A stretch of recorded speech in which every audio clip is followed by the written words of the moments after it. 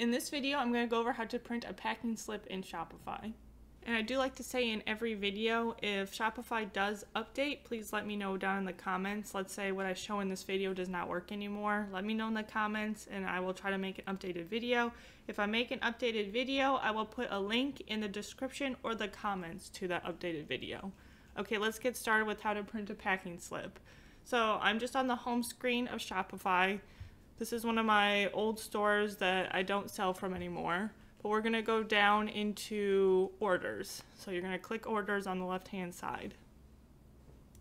I have names blacked out for privacy reasons, but if you want to print a packing slip from this page, you can just check mark next to the order.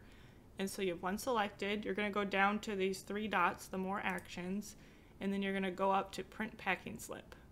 You're going to click that it will take just a little bit to load and then you will have a PDF version of that packing slip that you can then print. You will need to be hooked up to a printer to be able to print this, but you can just go up and hit the print icon and get it printed.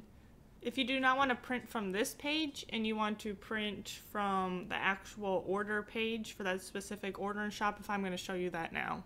Okay, now we are back to the orders page. Remember to get here, you would just click this orders on the left hand side if you're in a different part of Shopify. And let's say we want to print this very top, top order, the 22,123.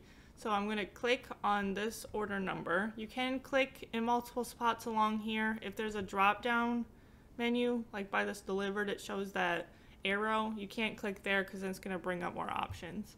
But we're just going to click on this order number.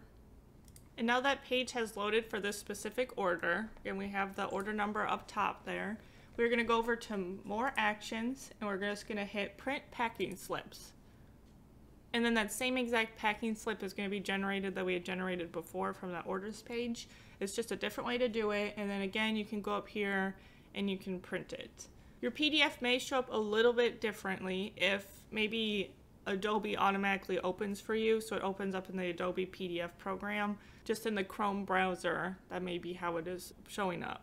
You might have to look elsewhere for the print button. But that's really all you need to know about printing a packing slip. I hope that's helpful. I'm going to make another video about printing multiple packing slips at once. So be sure to check in my channel and look for that other video if you want to know how to print out more than one packing slip at a time.